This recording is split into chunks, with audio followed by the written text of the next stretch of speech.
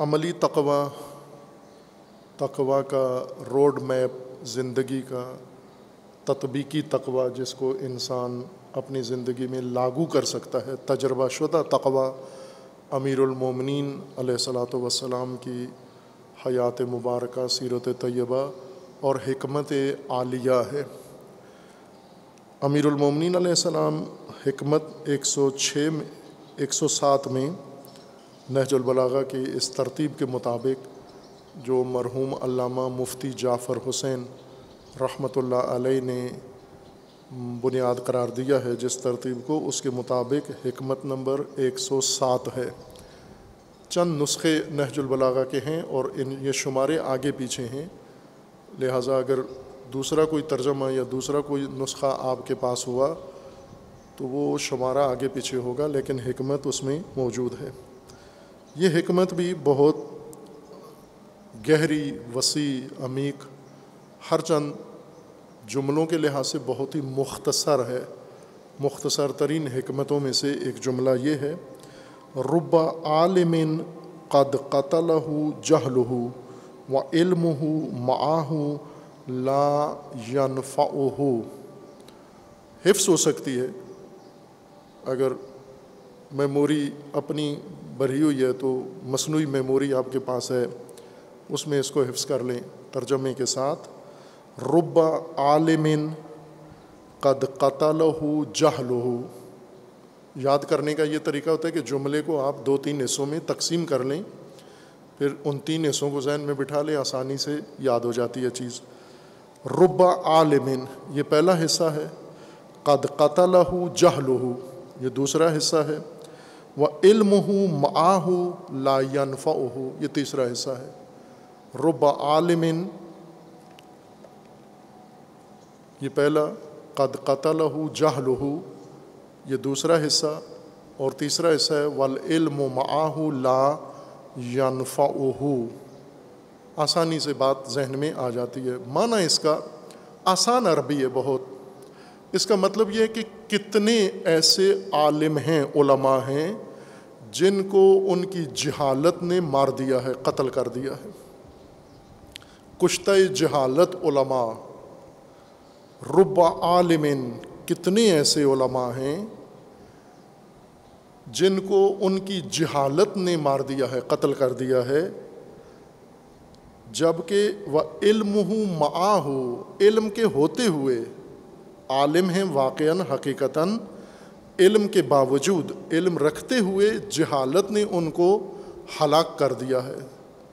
उनको कत्ल कर दिया, तबाह कर दिया है और इल्म इनका ला यनफ़ा हो उस इल्म ने इन्हें कोई फ़ायदा नहीं दिया, इल्म ने बचाया नहीं इस शख्स को। खूब, ये बहुत ही गहरी बात है जो अमीरमिन सलाम फरमा रहे हैं और जैसा पहले ख़ुतबे में मौजू तराजू इमाम सैद साजदीन वसलाम का बयान करदा पेश किया है हदीस नूरानी का एक हिस्सा इकतबास। ये समझे उसी का तसलसल है, उसी मजमून में इजाफ़ा है। रुबा आलिमिन कद कतलहू जहलहू। आलिम जिसके पास इल्म है। पहले तो हमें ये तशखीस होनी चाहिए कि आलिम और गैर आलिम में फ़र्क ज़रूरी है। क़ुरान करीम भी ये फ़र्क हमसे माँगता है, हुक्म देता है कि आलिम और गैर आलिम में आपकी तशखीस होनी चाहिए। आलिम किसको कहते हैं, गैर आलिम किसको कहते हैं? हल यस्तविल्लदीन यालमून वल्लदीन ला यालमून क्या आलिम और गैर आलिम बराबर हैं? तो इसका मतलब है कि ये फ़र्क रखना ज़रूरी है, चूँकि अल्लाह ताला के नज़दीक ये फ़र्क है आलिम और गैर आलिम का। हमारे मुल्क में नहीं है ये फ़र्क। आलिम और गैर आलिम का फ़र्क नहीं। ज़रूरी भी नहीं समझा जाए जैसे मोमिन और फासिक में कोई फ़र्क नहीं है। मोमिन भी मोमिन है, फासिक भी मोमिन है। सब अल्लाह के बंदे हैं, सब मुसलमान हैं, सब भाई भाई हैं, सब शिया हैं, सब मोमिन हैं, फासिक भी और मोमिन भी। जबकि कुरान फरमाता है कि ऐसे नहीं है। अफ मन का ना मोमिन का मन का ना फासिका। क्या मोमिन फासिक की मानंद है और फासिक मोमिन की तरह है? अल्लाह के नज़दीक नहीं है। फ़र्क है। तो आप भी फ़र्क करो ना ज़िंदगी में। इस फ़र्क को लागू करो अपनी ज़िंदगी में। फासिक और मोमिन में फ़र्क फासला रखो। एक ना करो इनको। जमहूरियत में मोमिन और फासिक एक हैं, चूँकि वोटर हैं सारे। लेकिन दीन में एक नहीं है। खसूस अहल बैत के मकतब में, मज़हब मसलक में मोमिन व फासिक एक नहीं है। दूसरों ने बनु उमैया ने ये फ़र्क मिटा दिया, कहा कोई फ़र्क नहीं पड़ता। फासिक हाकिम बन जाए तो उसको ओल अमर मान लो, फासिक रावी हो तो उसकी रिवायत मान लो। फासिक नमाज़ के लिए आगे खड़ा हो जाए, पढ़ लो आप। ये बनु उमैया ने बाकायदा फ़िक बनवाई, ऑर्डर पे बनवाइए कि ये बनाओ ताकि वो बनु उमैया भी उसमें फ़िट हो सकें। वरना बनु उमैया तो किसी कानून के तहत फिट नहीं हो रहे थे दीनी निज़ाम के अंदर रसूलुल्लाह के बताए हुए मेयार के मुताबिक। तो उन्होंने तराजू में तब्दीली की कि ये सुल्तान भी फासिक हो सकता है, पेश नमाज़ भी, इमाम भी फासिक हो सकता है, आदिल ज़रूरी नहीं है। ये जो भी बन जाए तुम्हारा उल अमर है। अहलुलबैत के यहाँ ना, नामुमकिन है। मोमिन और फासिक का फ़र्क ख़त्म नहीं करना। दूसरा आलिम और गैर आलिम आलिम और जाहिल का फ़र्क नहीं मिटाना, इसको कायम रखना है। फिर जब आलिम की बात आ जाए कि आलिम और गैर आलिम में आप फ़र्क करें, जो नहीं हो रहा खसूस मैं ये अर्ज़ करूँगा कि तमाम मसालिक में नहीं हो रहा। अहल सुन्नत में भी आलिम और गैर आलिम में फ़र्क नहीं किया जाता। जाहिल उलमा पर गालिब हैं। खसूस जाहिल अगर दहशत गर्द भी हो तो आलिम और ज़्यादा उससे डरता है, दबाव में आता है। कितने उलमा हैं, जुरत नहीं करते जो हला के ख़िलाफ़ या उनकी मर्ज़ी के ख़िलाफ़ कोई बयान देना या इकदाम करना। खूब शिया में भी ऐसा ही है, आलिम और गैर आलिम का फ़र्क मिट गया है और आप इस फ़र्क को, मिटे हुए फ़र्क को देखने के लिए अपने मेंबर को देखिए आप। अभी मुहर्रम हराम करीब आ रहा है। आप इसी में जायज़ा ले लेना। कितने ओलमा हैं और कितने जुहला। आलिम किसको कहेंगे आप?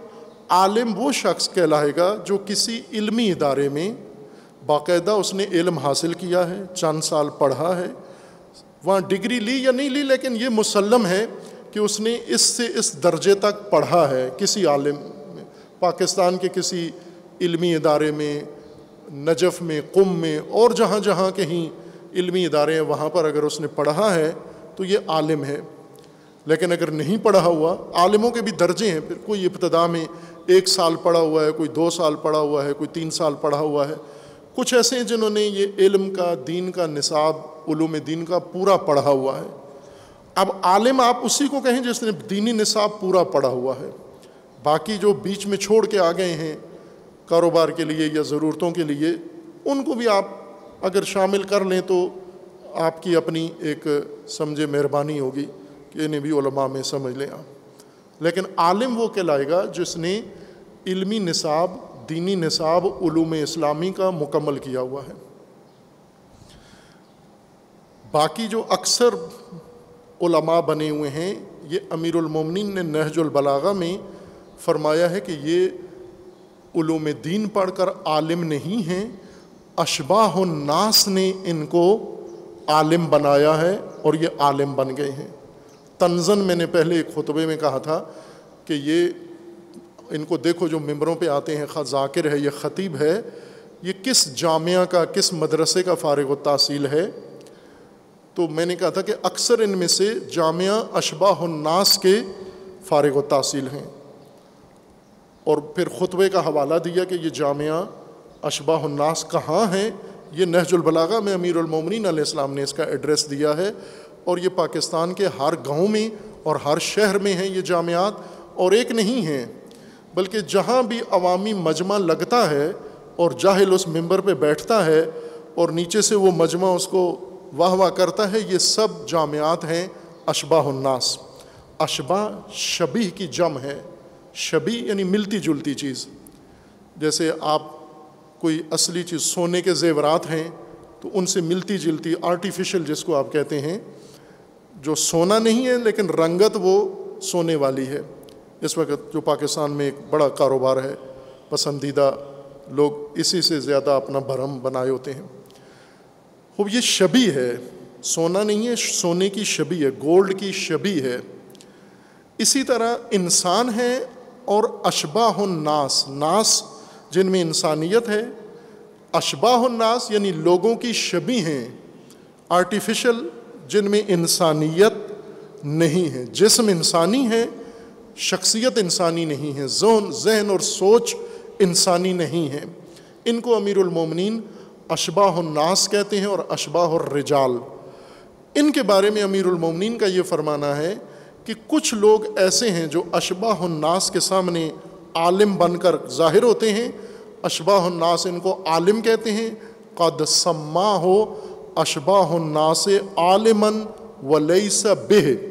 लोग इनको आलिम कहते हैं, जबकि ये आलिम होता नहीं है। अशबाह नास ने आर्टिफिशियल इंसानों ने इनको आलिम करार दिया है। ये आलिम बन गए किसी स्टेज सेक्टी ने, किसी इश्तहार में किसी मीडिया कंपेन में, किसी ग्रुप ने, किसी उसमें ये आलिम कहलाए गए, आलिम बन गए। ये उलमा नहीं हैं। अपना दीन, मकतब, मज़हब उलमा किस, को सौंपो।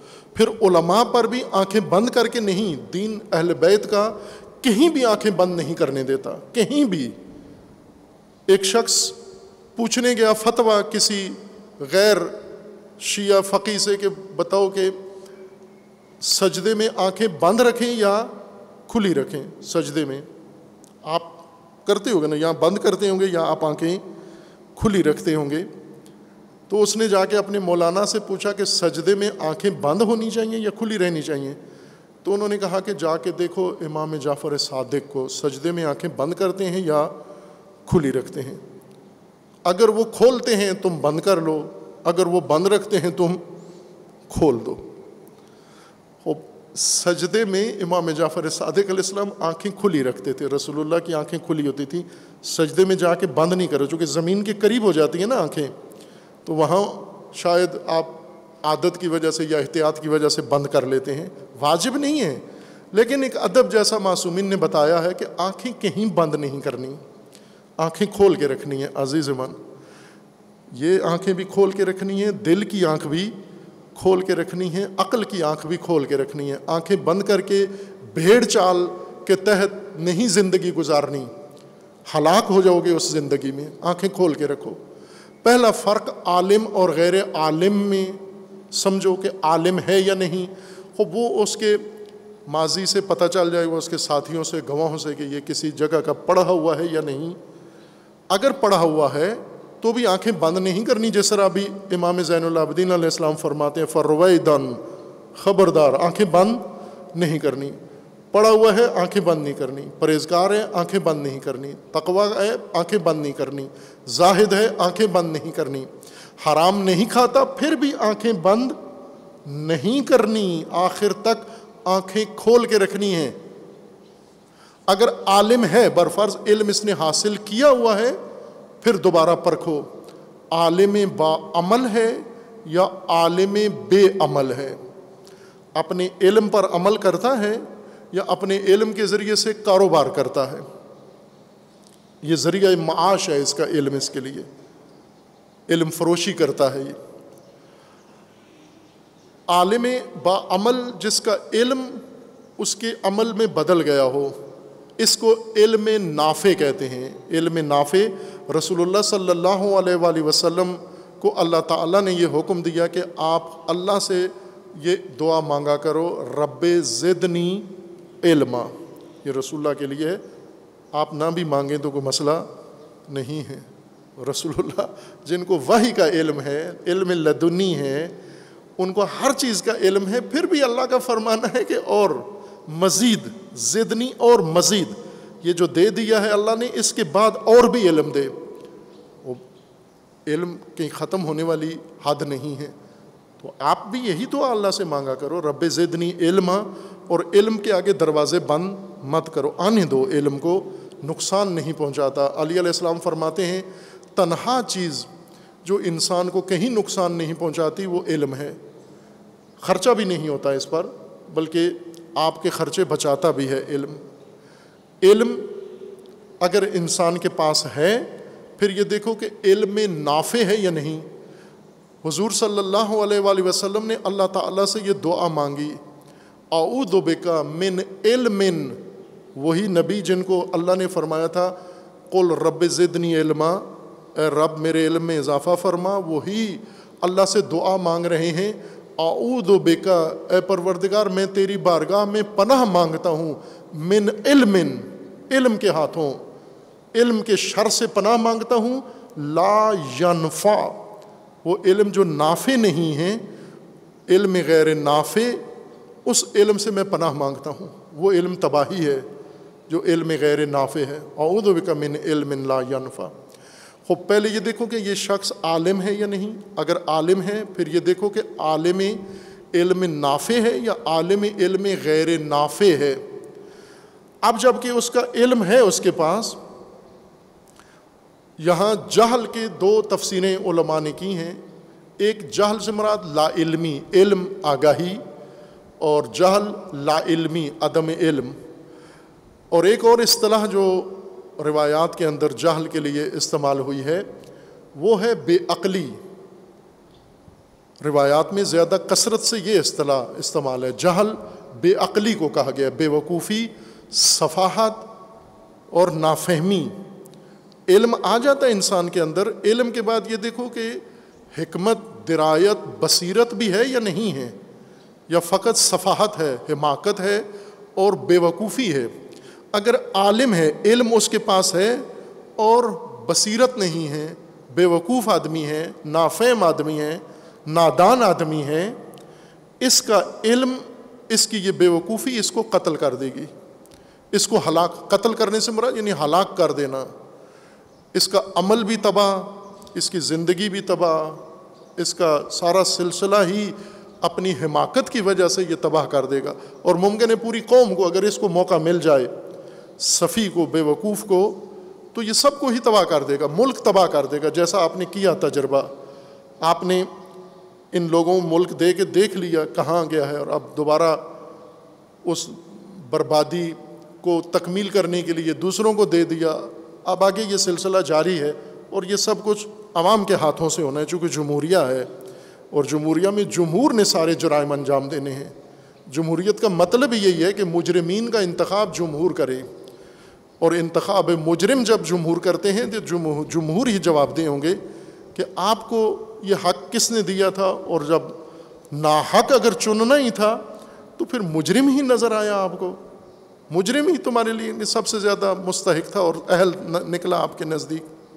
ये पैमाने कायम रखें, इनको ज़ाया ना करें।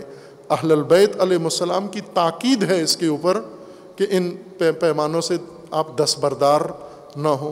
रुब आलमिन कद कतलहू जाहलहू। उसकी हिमाकत ने उसको हलाक कर दिया है। और जब आलिम के बारे में अली अलैहिस्सलाम का ही फरमाना है, रसूलुल्लाह सल्लल्लाहु अलैहि वसल्लम का फरमाना है कि इत्तकू ज़ल्लतल आलिम, ज़ल्लत जे के साथ। एक ज़िल्लत है ज़ाल के साथ, एक ज़ल्लत है जे के साथ। उस वो ज़ाल है और नीचे कसरा ज़ेर, ये जे है और ऊपर ज़बर है ज़ल्लतल आलिम। ज़ल्ला यानी लग्जिश, फिसलन। इतकूल ज़ल्लतल आलिम आलिम की लग्जिश से बचो। आलिम की लग्जिश से में आप अपनी हिफाजती तदबीर रखो। आलिम जब फिसलता है, आप तकवा इख्तियार करो, यानी हिफाजत करो। अपनी, अपने दीन की, अपनी कौम की, अपने मुल्क की, अपनी मिल्लत की, हर चीज़ की हिफाजत करो। क्यों? आलिम फिसल गया है। जैसे अभी लैंडस्लाइडिंग होती है ना, पहाड़ फिसल रहे हैं। जब पहाड़ फिसलते हैं तो सिर्फ़ पहाड़ नहीं गिरते, ट्रैफ़िक भी गिरती है, गाड़ियाँ भी दबती हैं, गाँव भी नीचे दबते हैं जहाँ पहाड़ी इलाके में आए रोज़ हो रहा होता है। ये लैंड स्लाइडिंग से ज़्यादा ख़तरनाक स्कॉलर स्लाइडिंग है, आलिम स्लाइडिंग है। ये आलिम जब फिसल गया तो ये तनहा नहीं फिसला, ये साथ पूरा मुआशरा तबाह कर देगा। और जिसके असरात हम अपने मुआशरे के अंदर देख रहे हैं, आलिम अगर आलिम है तो फिर ये देखो कि ये किस कुमाश का आलिम है। ये अहमक है, बेवकूफ़ है, नादान है, नाफेम है अमीरमिन के मंतिक के मुताबिक, रुब आलिमिन कद कतलहू जाहलहू। कितने ऐसे आलिम हैं जिनको उनकी बेवकूफ़ी ने या जहालत व हिमाकत ने हलाक कर दिया है। व इल्म माहू ला यनफ़ाहू इल्म होते हुए, इल्म रखते हुए, चूँकि इल्म हिमाकत का असर ज़ायल नहीं करता। मैंने पहले बारहा तो लाभ मोमिन सबको जवानों की आगाही के लिए अर्ज़ किया है। शहीद मुतारी रहमत ने ये बात ज़्यादा फसाहत से, खूबसूरती से बयान की है कि इल्म रोशनी है। रोशनी मुहर्रिक नहीं होती। आप गाड़ी में बैठें, जाके लाइटें गाड़ी की ऑन कर दें। सारी रात, सारा दिन लाइटें ऑन करके रखें, गाड़ी चलेगी नहीं। रोशनी लाइट गाड़ी को हरकत नहीं देती। हरकत के लिए अलग इंजन है और निज़ाम गाड़ी के अंदर है। लाइट भी ज़रूरी है, क्योंकि रोशनी अगर इंजन गाड़ी को चला दे और पहिए घूम जाएँ, गाड़ी चल पड़े, रोशनी ना हो, नुकसान होगा। रोशनी ज़रूरी है। लेकिन ये रोशनी तहरीक नहीं करती, मुहर्रिक नहीं है। उसके लिए अलग से इंतज़ाम है। इंसान के अंदर भी शहीद मुताहरी फरमाते हैं, अल्लाह ताला ने यही निज़ाम रखा है। रोशनी इल्म है, मुहर्रिक इंजन ईमान है। वो चीज़ जो इंसान को हरकत देती है, जज्बा जिससे पैदा होता है, वो ईमान है। इल्म सिर्फ़ रोशनी है, फैलाता है, लाइट, फ़ज़ा आपके लिए वाज कर देता है। आलिम आलिम का मतलब क्या होता है? यानी रोशनी वाला, जिसके अंदर रोशनी आ गई है, लाइटें आन हैं इसकी। लेकिन अब आगे हरकत क्या करेगा? इससे अब करना क्या इसने? आलिम, रोशनी, लाइटें सारी आन, लेकिन अब करेगा क्या? तो कर सकते हैं ना? बाज़ लोग करते हैं कि अब ये मौलाना, ये आलिम अब ये करने वाला है। वो जैसा उसका जनरेटर है, वही करेगा। अगर ईमान है उसके अंदर तो जैसे इल्म की उसके अंदर रोशनी है, और उसकी रोशनी से सारा माहौल रोशन है, इसी तरह अब इसके अंदर ईमान भी है। ईमान ने इसको हरकत, जो कदम उठाएगा, जो बयान देगा, जो कुछ भी लोगों के अंदर आकर आवाम में हिदायत की बात करेगा, सियासत की बात करेगा, मीशत की बात करेगा, जो भी कदम उठाएगा, अगर इस रोशनी में ईमान भी पीछे हुआ तो ये आलिम बेहतरीन मतहरक और महरक और आवाम का रहनुमा है। लेकिन अगर सिर्फ़ रोशनी है, लाइटें हैं और इंजन फेल है, सीज इंजन है इसका। लेकिन लाइटें ठीक हैं, इसने वो आज की आपकी जो मॉडर्न लाइटें क्या क्या कहते हैं लाइटों को? एलईडी लाइटें एलईडी लाइटें आपने लगाई हुई हैं। चुंदिया देने वाली लाइटें हैं। इल्म इतना है कि इंसान की निगाहें चुंदिया जाती हैं, लेकिन ईमान का ज़र्रा भी अंदर मौजूद नहीं है। ये गिरेगा ये आलिम। ये आलिम तबाह करेगा। इसके गाड़ी में सवार उम्मत भी तबाह होगी साहब। व इल्म माहू, रोशनी होते हुए ये तबाह करेगा और तबाह होगा ये। रुब आलिमिन कद कतलहू जहलहू व इल्म माहू ला यनफ़ाहू अमीरमिन से मुतफ़ तो हैं ना आप इन बातों में, सारी में हमतों में, जो हज़रत फरमा रहे हैं। क्या ख्याल है आपका, ठीक है या सवाब के लिए ठीक है बातें सुनना? इनको पैमाना बनाए अपनी ज़िंदगी का।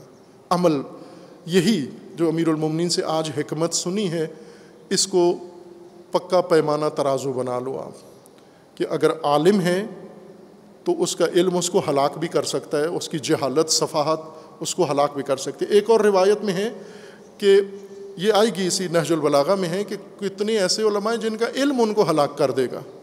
ये चूँकि यहाँ नहीं है, इसको अभी तफसीर नहीं करते, अपने मकाम में जब आएगी तो वहाँ आपके खिदमत में अर्ज़ होगी।